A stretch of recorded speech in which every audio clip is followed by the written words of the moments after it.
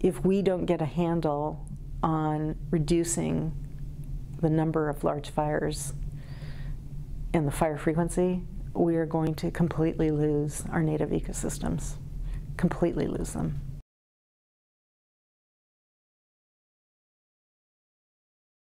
Um, the Woolsey fire was actually a completely typical fire for the Santa Monica Mountains National Recreation Area. The fire was uh, getting ready to jump the one, and it did. And if you look at a fire progression map, it then just made a tremendous run to the ocean. And that's actually where the fire burned almost 100,000 acres, but about um, 77,000 acres occurred in that one burning period as it moved from uh, across the freeway and down to the ocean. So it was just a massively, rapidly moving wildfire.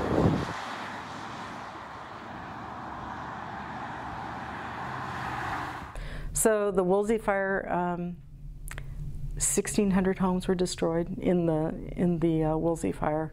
So that is um, by far and away the largest amount of structure loss we've seen in any fire in the Santa Monica Mountains.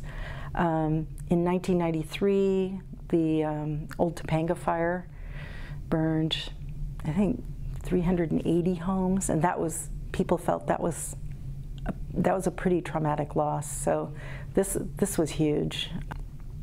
There has been a lot of new research done um, looking at what factors contribute to particular homes being lost on a landscape. Because oftentimes after a fire, people will come out and they'll go, oh my goodness, I don't understand it. That's, that house survived and that house didn't survive. And um, we actually are starting to understand much better uh, why certain areas are bad. There are bad locations to put homes that makes them more susceptible. They are more susceptible to being destroyed in a wildfire. We definitely need to stop expanding into these wildland urban interface areas. Um, in a place like the Santa Monica Mountains where you have so much development that's occurred, you know, building remote homes that are all by themselves, they're just, they're a risk to the people who live there, they're a risk to firefighters. Um, it's, they sort of create a huge social cost and burden. So planners need to start thinking really seriously about where they put homes and definitely expanding whole communities out into these really flammable landscapes is just it's it doesn't make sense from any kind of fire safety, sustainability, resource conservation viewpoint. So uh, I want you to try to center the load more or less in that week. There's in the Santa Monica Mountains, there's not that much area left to burn. If you have a big fire, it's, I hate to say it, it's, it's everything to the east of Malibu Canyon Road, and it's Topanga, where I live. So I really hope that we're not going to see that. I, that's the concern, is that we don't have a lot of area left to burn that hasn't been burned already very, very recently.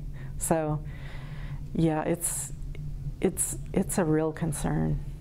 If we don't get a handle on reducing the number of large fires and the fire frequency, we are going to completely lose our native ecosystems, completely lose them. Once you get type conversion to grasses, um, grasses ignite much more easily than shrublands the fires travel faster so they can be just as big and there you go. So it's called the, the grass fire cycle. So you can actually increase the frequency of fires.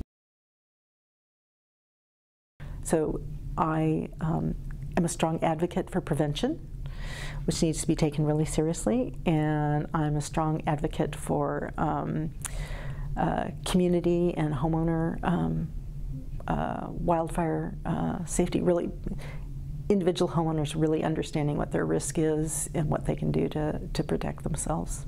Those are the two things I'd really like to see people focus on. So if you care about sustainability, you have to care about conserving our native shrublands.